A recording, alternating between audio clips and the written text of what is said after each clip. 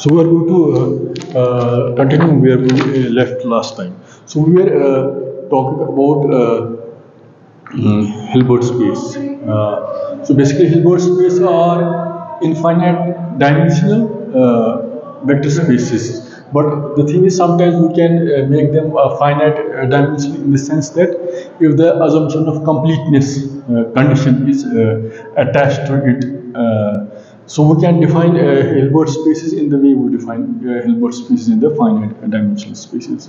So this, the uh, condition of completeness, uh, it becomes uh, not only completeness because the idea of completeness is somehow uh, is, has conjunction with how we have linear independence and linear dependence. So sometimes a thing can be complete, but it may not necessarily be uh, uh, linearly independent. So you can always construct a uh, subset of linearly independent combinations uh, from a linearly dependent combinations. Uh, so that's the part of it. So the question is, uh, the last uh, statement we found that uh, a complete uh, uh, set of orthogonal orthogonal uh, orthogonal vectors is said to form a basis of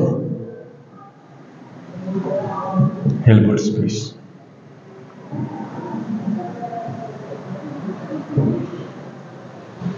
So in our uh, case, so how we define Hilbert space? So Hilbert space uh, is defined as a normed complex vector space. So normally we define, uh, the book has defined norm, we also say it is a inner product space. And the elements are uh, the products, they have a property of, the symmetric conjugate. So if you read mathematics books. So here we define a Hilbert spaces are norm complex vector spaces, norm complex spaces. That's so here. So that's either of finite dimensionality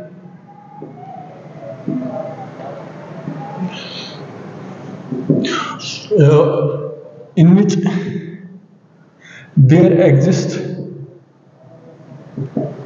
infinite uh, set of orthogonal vectors orthogonal vectors phi i that are that are complete so it can have either. So the, in the uh, uh, in the uh, not in the mathematical sense, they may be infinite dimensional, but we can sometimes make them. They can either be finite dimensional, but provided there exists infinite set of orthogonal vectors uh, phi i that are complete. So if they are complete, uh, they can be. Uh, and those are composed of uh, orthogonal vectors. We can say they can have finite. Hilbert space can be constructed that way. So actually, the completeness condition is also related. Uh, so the book has not defined that, if you just go to any you. So we say basically we define it in terms of uh, convergent sequences. For example, what's the condition that two sequences for n and if n goes to n and m, uh, n goes to m goes to infinity, so it should uh, converge to it should. Uh, but sometimes, uh, once how we define real indices, sometimes we keep it fixed. Uh, so, so that we should see whether it's bounded from above or bounded from below. So we can, uh, so if it's an infinite dimensional space, it's not entirely infinite. We can see whether its convergence can exist within certain limits, and whether those limits are above or below uh, that uh, space. Uh, so if it is bounded in that sense, got my point. So so you have to uh, think in that sense. So it's a how we define um, mathematically in that sense. But here here uh, for uh, uh, for example uh, for a present case they are incomplete complete in the sense? In the sense so that we are going to just uh, follow the definition of the book for any vector psi psi uh, psi. So but psi uh, psi uh, with a set of numbers or scalars alpha psi that the sum psi that the sum i is equal to 1 to infinity alpha i phi i converges to converges to psi. So this means, so this means, so if we have this uh, two uh, sequences, they will go for zero as n tends to infinity. Uh, the inner product of those uh, sequences, which are defined in that space. Such that there is, there is always a possibility that uh, there is always a possibility that that a, a sequence uh, it can be subset of the original uh, space. Such that it can uh, be constructed from infinite dimensional subspaces. So in principle it's how larger a space you can construct a smaller subspace that subspace may be finite dimensional, uh, that may be uh, uh, that may be what I should say linearly independent or linearly independent. So you can always construct a uh, vector space whose subspaces and from which you can construct subspaces which may be linearly dependent or linearly so you can always uh, extract uh, the thing, the conditions uh, in that sense. So if you define uh, one space in terms of psi and other space, in terms of phi, and phi has these components. So originally, how did we define uh, this? If you remember, we defined psi as uh, psi as alpha one, psi one, alpha two, psi two, so on and so and forth. So this is how we define the original vector spaces. But why we are getting phi out here is, but there is a possibility in these uh, sequences or subspaces, there may be uh, some constructions, uh, there may be uh, linearly dependent sequences. So, so the original sequence may be, uh, it may be have both linearly independent sequences and linearly dependent sequences. But there should be a way by which we can subtract this uh, linear, if there is a linear independence or linear dependence, uh, those uh, terms should always uh, truncate and we should be, so there's a way, there's a particular way that's known as Gram-Schmidt orthogonalization uh, process, how we can always add the terms to the sequences. Uh, to make it finite or to make it complete or to whatever uh, that thing is there. And the condition of orthogonality sometimes. Uh, so, so the later condition allows us to apply some of the mathematical methods. It allows us to apply some of the mathematical methods if Hilbert, uh, so this is what he is saying. If Hilbert spaces were finite dimensional, if Hilbert, Hilbert spaces are finite dimensional. So it is a sort of cheat, cheat in the sense that uh, we don't say, we say that if Hilbert spaces are finite dimensional. So we don't, because there's not, uh, in principle, we say infinite spaces are infinite dimension, but we can just uh, change our definitions that if we have completeness conditions and the, there are convergent sequences uh, which, which will converge in a given such space and there can be subspaces which can can be constructed from that space we can and those might have completeness condition we can say that the Hilbert spaces can be finite dimensional uh, so this is it. so now uh, the question is the components of the state uh, components of the uh, state vector components of the components of the components of the components of uh, state vector psi in the basis provided that the complete orthogonal set of vectors are just so the expansion can be defined as size on this is i goes to n alpha i phi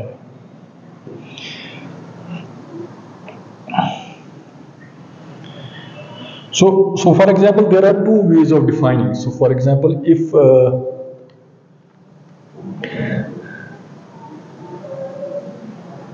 So there are two ways of defining. If we define the components uh, that uh, the orthogonal components will uh, uh, is equivalent to the original subspace. So the larger the original space is not it will be always larger than the subspace which we have defined.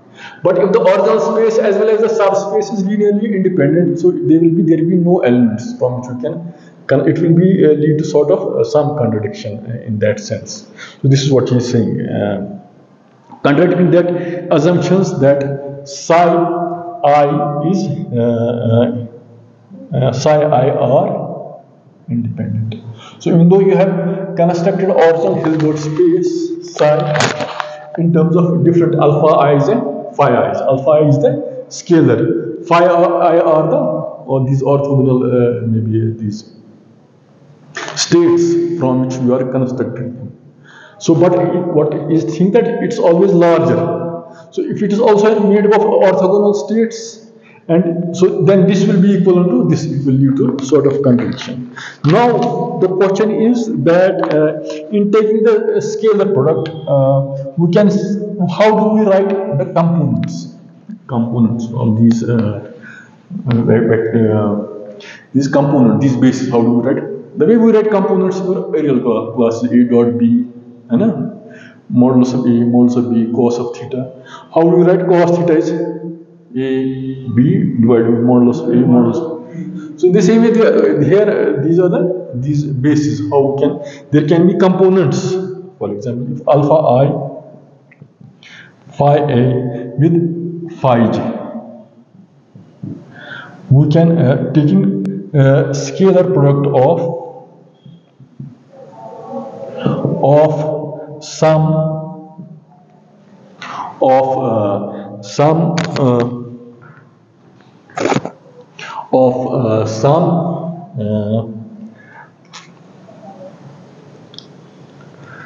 this with 5G we can write uh, components. Components can be written as for example the uh, alpha gth component can be written as 5g psi i 5g yj है ना? The jth component. So it's between j and j. It's the modulus. It's j component of j with i. If it's uh, alpha uh, i then it will be this. You can uh, reverse it. So if it's i here then it will be i i here. So it's like that. So in the same way uh, psi can be expressed uh, in terms of can be expressed in terms of a complete set of orthogonal vectors phi i by so psi can be expressed as phi j psi so it will be phi i phi j into phi j so if it's a component between uh, phi and g, uh, phi and phi g, uh, it's a component, it's phi g, uh, it's sorry, it's also phi g. It's phi g between psi, phi and psi. It's phi g, phi g, phi g. Good. Uh, so, so because we have defined psi in terms of alpha i phi, so we can write it uh, in terms of uh, one of the alpha. We write this so write this uh, in terms of and that's this. You just we have simply substituted this here. How we can write a particular component in terms of uh, this thing. Just like we write four in uh, earlier classes, now we write uh, work done F is equal to uh, A B cost A in terms of B cost. You, know? you can write a component of one in terms of another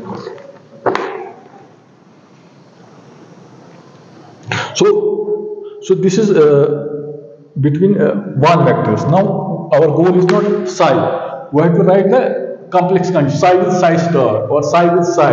है ना? This is the way. So if you want to write the same, for example, if we write uh, psi with if we write uh, psi with uh, psi prime, uh, it will be so uh, we'll have one because it will be phi j psi uh, star.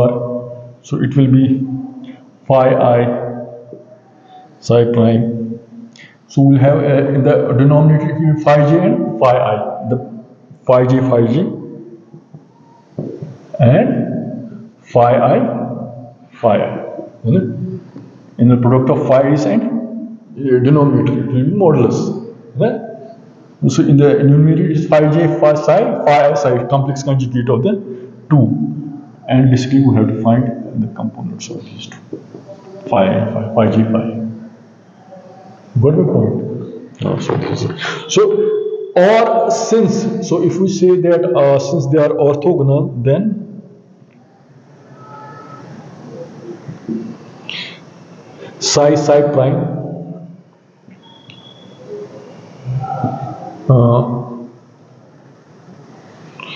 so if they are uh, orthogonal, so j j will be uh, will be can uh, write it. It can, it can simplify as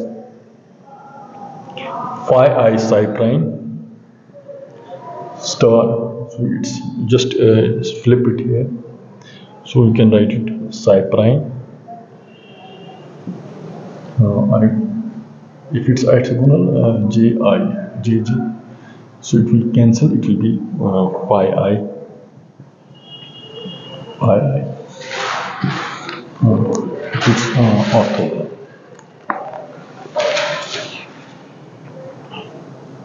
So it's, for example, here it's i and j. Here it's only i.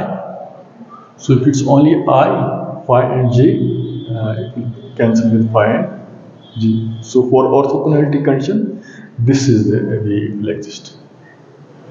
So because here we have defined uh, indices from I runs for I and G. Here I runs for I because J's are orthogonal and this uh, will cancel with this. So now the question is, uh, so this is the thing. So here an important point is here which I uh, write. Uh, so, so here we are limiting ourselves to uh, complete, complete, we are limiting ourselves to complete uh, set of basis vectors phi i uh, that is denumerable. So do you know what's denumerable?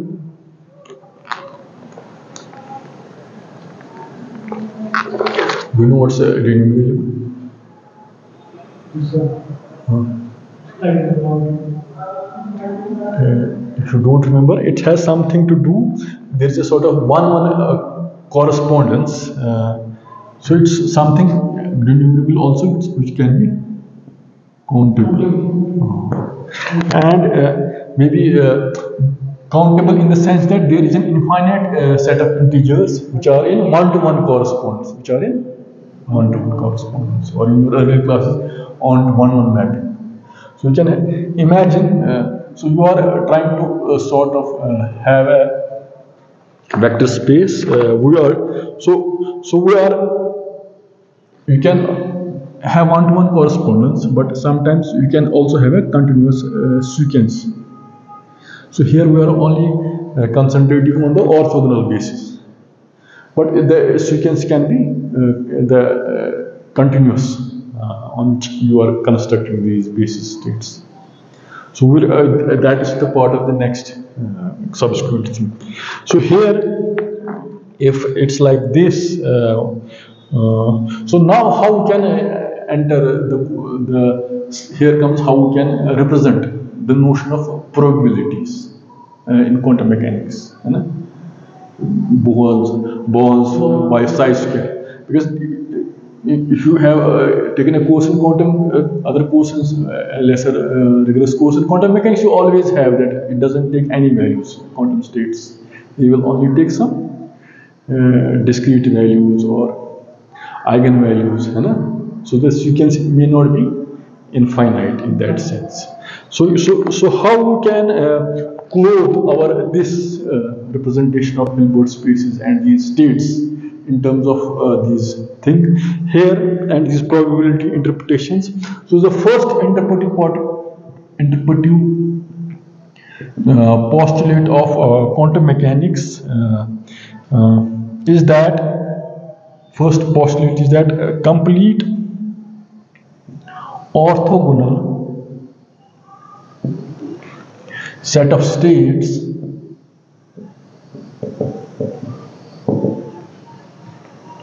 phi i are in man-to-man correspondence.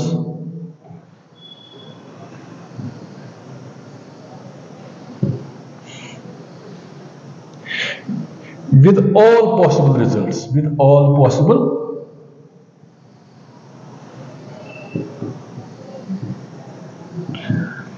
of some measurement, some sort of measurement.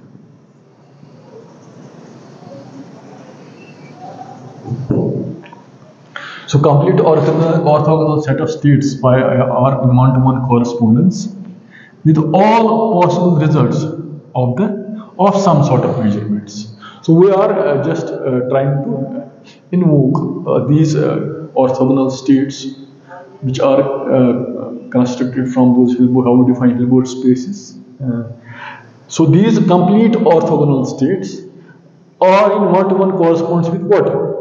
All possible results of some sorts of measurements. So we are invoking some observables when we measure some states, a wave function or observation. You know? And this is the first way how we are formalizing the observable part. Before observation, we have to also measurement, how we can quantify things. And quantify things in terms of these how we define states in terms of these uh, bases in the vector spaces or Hilbert spaces. So, so, so if we say that probability of psi, uh, so before measurement, so if a system, if a system before measurement uh, is in state psi, so if a system before measurement is in state psi, then the prob prob probability that measurement will correspond, that the probability that it should relate to the measurement phi is given by so if it states psi and we have uh, tried to measure it. In the process of measurement the probability of the measurement will give phi. This is this is the write it psi goes to phi. Psi i goes to phi i. This means phi i psi i square. This is psi this is uh, psi psi and phi phi. So uh, this is it. So in the same way if it's uh, the question is uh, you might have uh, read that it's the square of the amplitude uh, probability. So how? Uh, so that's why we are uh, talking in terms of uh, square amplitude. So there may be something how we have. Uh, so you just think over it, uh, how it has. So this is the way we represent the things. At least the the representation part of it. We can write it in terms of if psi goes to phi. the so in the same way So this is how uh, in we measure probabilities, uh, the fundamental how measure probabilities of events. Uh, so here we are measuring probabilities for a given state psi going to state phi after measurement. This is the representation here. So and in the same way, if it is uh, psi going to psi, which is a complete uh, orthogonal orthogonal set, for then psi going to psi can be represented as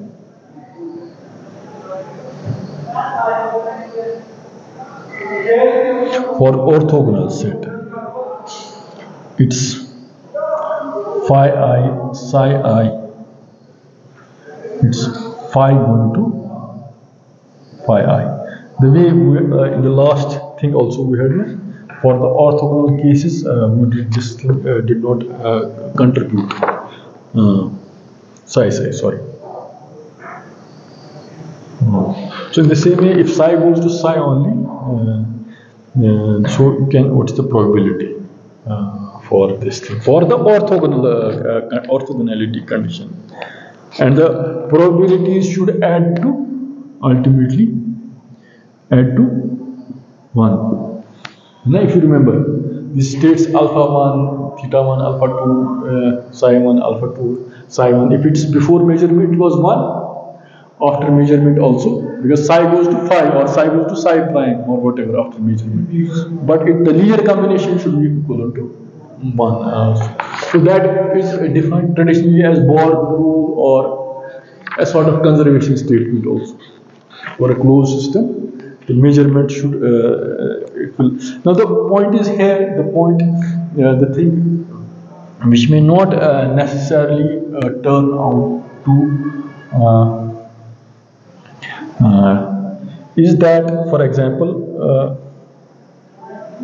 if with the probabilities will, so if you add the idea of scalar is the probabilities, so will it, if we change right alpha with one scalar and beta with another scalar, uh, so or psi going to phi, so if you had a initially they were uh, we had some combination of scalars and after uh, uh, after psi going to phi. So if we change the scalars for two observables, so will it uh, lead to any uh, change or not? So that's the point. That's the point. So if we change alpha with beta, so for example, psi plus psi prime. So if you say, uh, if you just uh, read the arguments of the this and this will not uh, represent the same state. If you start with the state and there is another state, psi prime.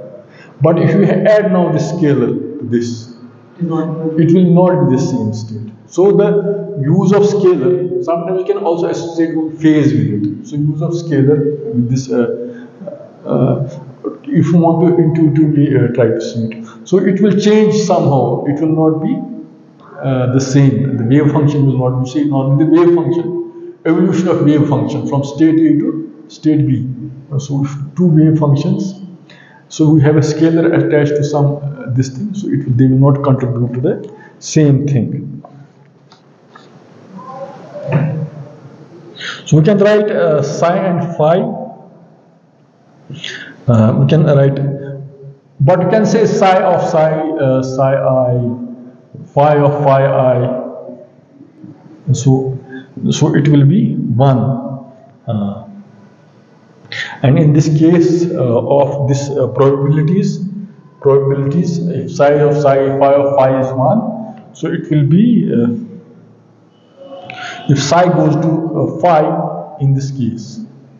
If we define it this way if we have defined probabilities here this way if psi is psi and phi of phi uh, if we define these states psi goes to phi if psi goes to phi, then this psi of psi, phi of phi is 1, so you can say it. The probability psi going to will give us phi of psi uh, square. Now the question is, uh, uh, the question is, the question is a set of vectors phi i uh, that are orthogonal and normalized that are orthogonal normalized so that such that phi of phi i phi i is equal to 1 is said to be shabash orthonormal and orthonormality will have both conditions. Uh, so you have an orthogonality condition the inner product is uh, 0 and orthonormality delta ij i is equal to j is 1 uh, so orthonormality condition uh, for a complete orthonormal uh, conditions uh, uh, orthonormal set of orthonormal uh, set of basis vectors phi i so equation 31 is these two equations which uh, I have just uh, uh, I just uh, forgot uh, these two equations. This equation uh, this is 31.1 and and this equation I'll write it again psi is equal. So we defined it previously. Phi j psi phi j phi j phi j so for orthonormality conditions, uh, or one is the orthogonality condition. For orthonormality conditions, uh, the psi can be written as phi j psi, phi j psi of phi. Denominator phi sorry for orthonormality condition j is equal to g it's equal to 1 uh, so that's why we can write it like this. And if you want to have an inner product this is a given state but we want to have psi psi star. Uh, so psi or psi bar can be defined as this is this uh, again phi goes to phi star so it will also be defined as phi i psi star and phi i psi. Uh, and phi g phi g it's again equal to 1 so you can uh, define it uh, like this. You can define psi prime psi is as in terms of uh, this. So now uh, the question is these phi and psi are the complex uh, numbers, complex conjugates of uh, conjugates, symmetric. So which have some uh, properties of uh, being uh, positive, semi-definite. Now question is that. So I'll write a statement. This statement makes. So the statement is that physical states, physical states of quantum mechanics of quantum mechanics or in one-to-one correspondence or in one-to-one one-to-one correspondence with rays in Hilbert space. So, so, so this is what I'm trying to say. We are trying to identify observables and measurements or states, how we have constructed Hilbert space. So physical states of quantum mechanics, which we say normally psi, psi is a wave function, okay? And though that wave function we have tried to define in terms of finite or infinite dimension Hilbert space, or in correspondence with the rays. Rays you can say it like this point segment. So we have tried to make a loose mathematical correspondence between observables of quantum mechanics and and that how we construct Hilbert space from whether, uh, it's complete uh, and it's finite also. Finite in some limited sense. Uh, in principle infinite. We can define finite, it's finite by some completeness condition that the sequence converges.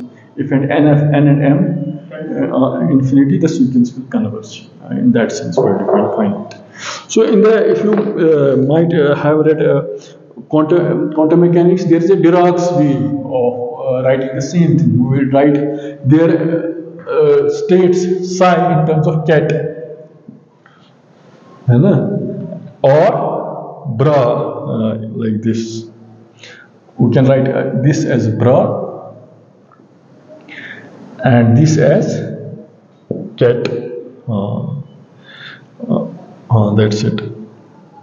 And sometimes we write this inner product as like this phi of psi. Uh, bracket. It's also known as another bracket, Dirac's algebra. Bracket way of uh, writing the inner product in that sense. We are how can construct these conditions of orthonormality, orthogonality, and other things.